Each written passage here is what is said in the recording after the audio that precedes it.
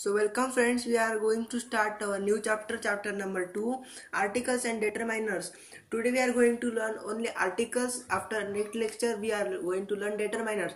Articles mean in English grammar, articles are word that combine with noun and indicate the degree of finiteness of a reference being made by the noun.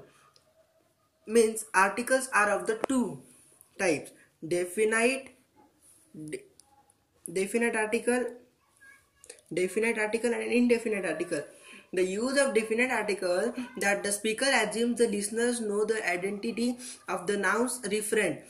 Next is the use of indefinite article implies that the speakers assume the listener does not know the identity of referent.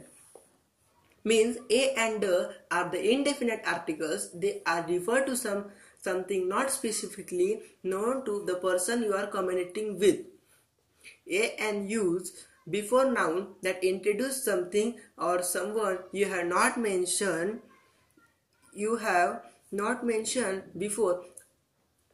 Means example like uh, i saw an uh, elephant this morning.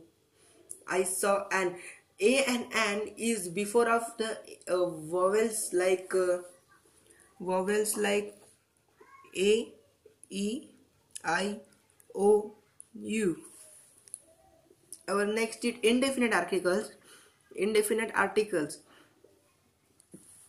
A man a city is like examples of indefinite articles. So our new our new point is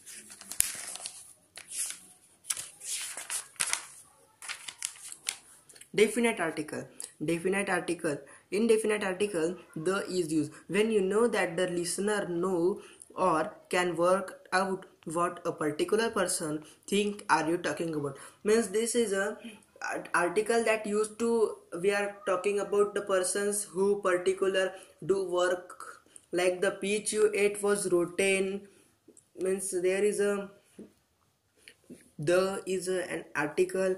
Did you lock the door? There is a the is an article. Articles rules. When you already mentioned the thing you are talking about. Means the girls 4 and the boys 7 there is a the is an art there is the is an article. To talk about geographical points means the north pole and the earth. In this the sun is also getting an example like our next is zero article. Where usually no article means to talk about things in general. People anxious about the rains. Here people is generally. When next when talking about sports my brother play basketball. Here basketball is an sports and here tennis is an sports. Before uncountable nouns when talking about them generally. Means information input to any work coffee is stimulating beverage. Means information is an uncountable noun and coffee is an uncountable noun. Because we are know that uh, these nouns are uncountable nouns. So thanks for watching this video. You are are you new in this channel? Subscribe my channel and bell icon